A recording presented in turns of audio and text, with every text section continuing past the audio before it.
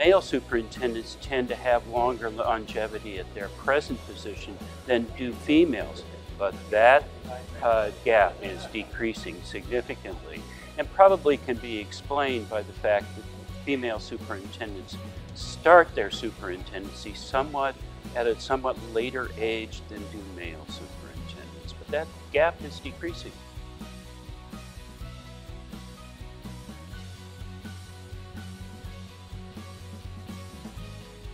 But one thing that uh, continues to come home to us is that boards support in the superintendent's contract things like professional development, association memberships, and, and professional development activities as being an essential part of their investment in the superintendent.